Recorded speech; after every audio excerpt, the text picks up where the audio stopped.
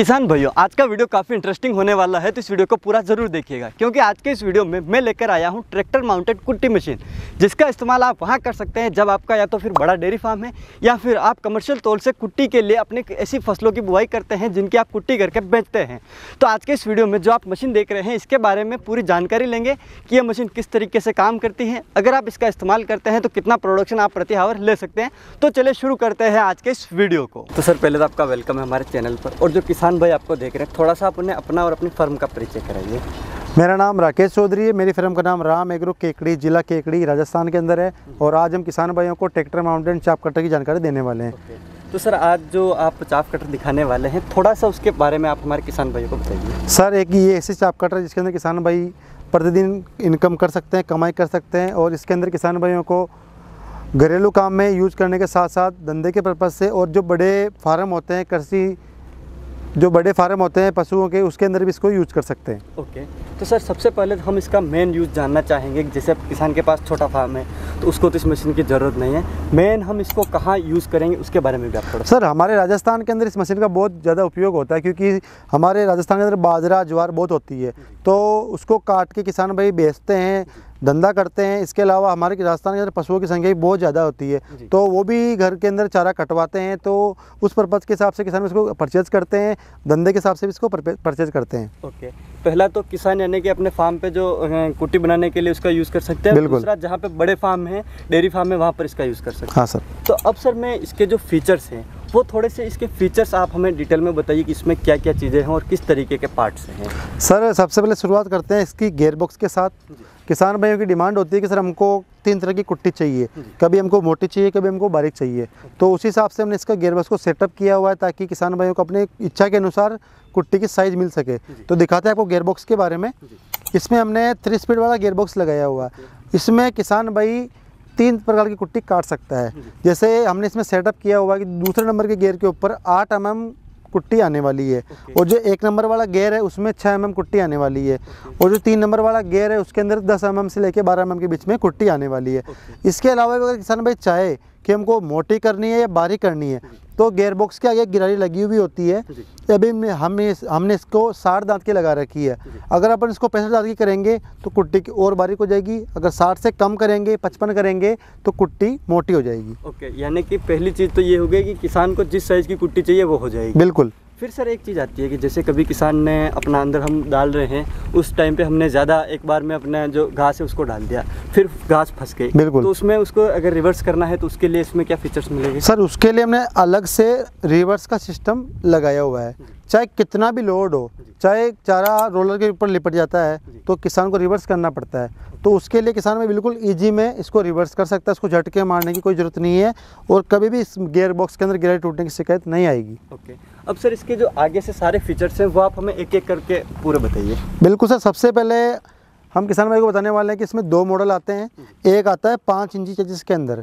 उसके अंदर हमने केवल और केवल एक सेटअप कर रखा है पुर्लियों का। इसमें केवल एक ही ऑप्शन है चार बेड लगा रखी है।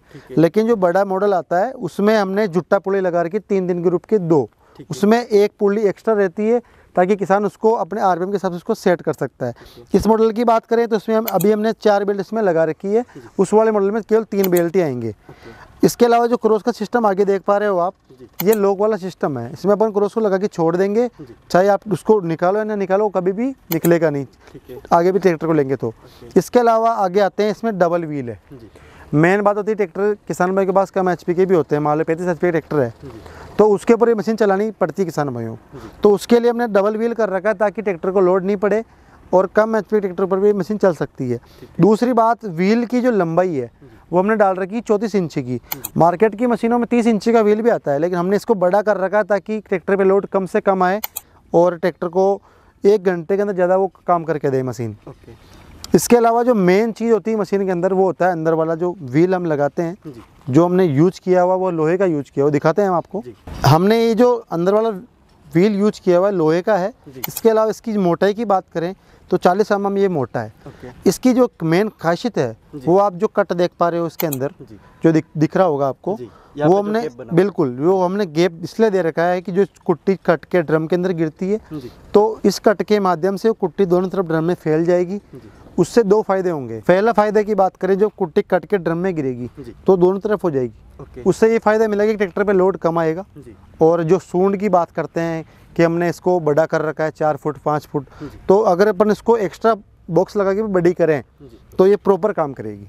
और दूसरी बात जो कुट्टी कटती है तो प्लेन चक्के में क्या होता है कि जो फील की वो टकराती है तो उसका छिलका हट जाता है। तो इस कट के माध्यम से वो छिलका भी नहीं हटेगा और कुट्टे में चूसे भी नहीं आएँगे। और कुट्टी किसान भाइयों को आपको पता है कि बहुत मेहनत से वो चारा घर पे लेके आते हैं तो उनको चारा बहुत बढ़िया क्वालिटी का चाहिए। तो उस हिसाब से हमने इसको सेटअप किया हुआ है।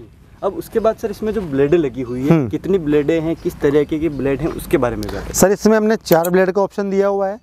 तीन एम मोटी ये ब्लेड है और पुजारी कंपनी की ओरिजिनल हमने इसमें ब्लेड लगाई हुई है।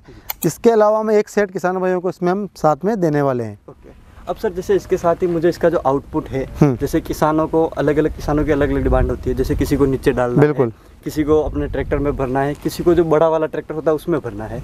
तो उसका आउटपुट का कितना आप में इसमें सिस्टम है? सर इसमें कैपेसिटी की बात करें तो एक घंटे के अंदर 8000 किलो ये मशीन आसानी से चारा काट देगी।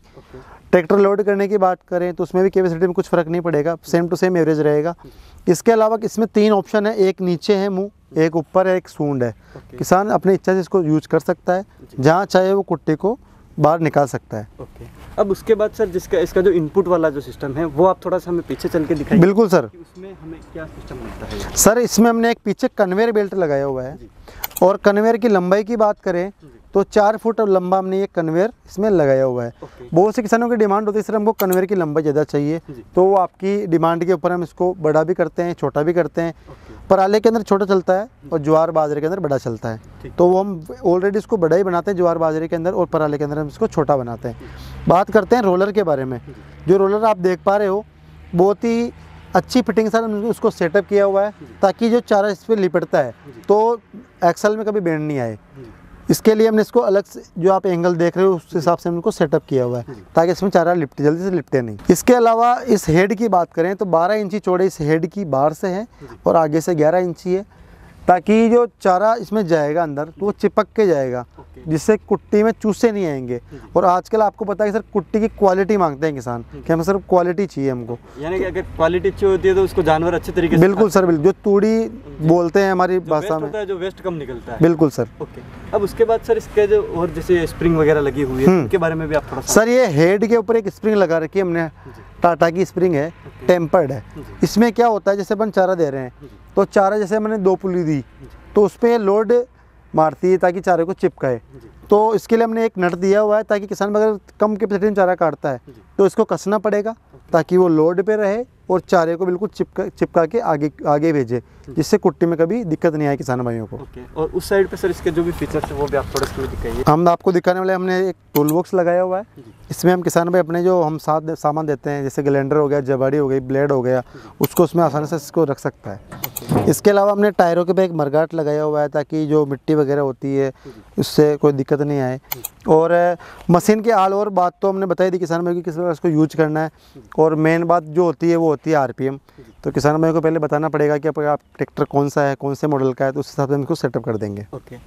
अब जैसे हम आरपीएम पे आते हैं तो इसको चलाने के लिए हमें मिनिमम कितने एचपी का ट्रैक्टर चाहिए? कम से कम पैंतीस एच का ट्रैक्टर चाहिए। एक सर इसकी जो शाफ्ट है उसकी मोटाई और इसमें जो बेरिंग लगे हुए हैं उनके बारे में भी आप थोड़ा सा बताइए। सर सापट की बात करें तो इसमें हमने 70 एम मोटी सापट यूज़ की हुई है और दो बेरिंग इसमें अलग अलग लगाए हुए हैं। एक बेरिंग के एक पेडिसल के अंदर दो बेरिंग है पीछे वाले में जो आगे वाला पेडिसल उसमें भी दो बेरिंग लगे हुए हैं। ओके अब सर जैसे आपने सारी डिटेल तो बताई दी है। मैं ला एक चीज़ इतना सा जानना चाहूँगा कि किसान काफ़ी अलग अलग कुट्टी मशीनें देखते हैं। किसान आपकी मशीन को ही क्यों परचेस करे? उसके बारे में। जैसा कि हमने आपको बताया कि इसका जो सेटअप है हेड का जो फिटिंग का जो लोहे की क्वालिटी का व्हील की फिटिंग का वो इम्पोर्टेंट होता है कि कुट्टी किसान भाइयों को एक नंबर आनी चाहिए। तो उस हिसाब से हमको इसको हमने सेटअप किया हुआ है ताकि किसान भाइयों को कोई दिक्कत नहीं आए और कुट्टी की जो क्वालिटी है थ्री स्पीड जो गियर से जो कुट्टी बनेगी वो मनचाही कुट्टी किसान भाई को मिल सकती है। ओके अब अगर कोई किसान इसे खरीदना चाहे तो एक तो इसकी कीमत कितनी है और कैसे इसको परचेज कर सकते हैं? सर जो नज़दीकी किसान होते हैं वो यहाँ केकड़ी विज़िट कर सकते हैं यहाँ की मशीन देख सकते हैं। जो बाहर के कस्टमर होते हैं वो ऑनलाइन भी घर बैठे ये मशीन मंगवा सकते हैं। बुकिंग की बात करें तो किसान भाइयों को जो बाहर के कस्टमर होते हैं उनको पहले पचास हज़ार रुपये एडवांस बुकिंग करवानी पड़ेगी।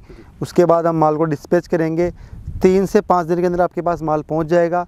माल ट्रांसपोर्ट पहुँचने के बाद आपको माल को देखना है उसके बाद आपको पेमेंट करना है। ओके इसकी कीमत टोटल कीमत सर कीमत की बात करें तो इस मशीन की कीमत है एक लाख पचपन हज़ार रुपये ओके यानी ये जो कीमत है ये आज की कीमत है? बिल्कुल सर। फ्लैक्चुएट कितने करती है? मतलब इसकी जो कीमत है वो टाइम के अनुसार? सर जैसे लोहे की बात करें कभी कम कभी ज़्यादा हो जाता है तो किसान भाई बहुत से कमेंट्स भी करते हैं कि सर आपने जो रेट दी है अभी रेट कैसे बढ़ गई?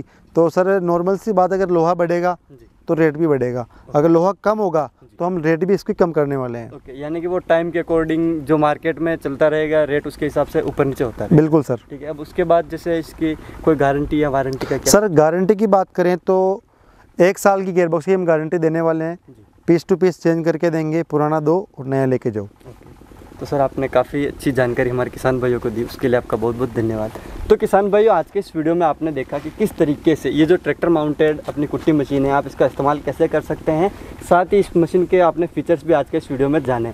उम्मीद है कि आपको हमारा आज का वीडियो पसंद आया होगा। अगर ये वीडियो पसंद आया तो इस वीडियो को लाइक करें, साथ ही दूसरे किसान भाइयों को इस वीडियो को शेयर ज़रूर करें। और मिलूँगा इसी प्रकार की एक और इंटरेस्टिंग जानकारी के साथ अगले वीडियो में, तब तक के लिए धन्यवाद।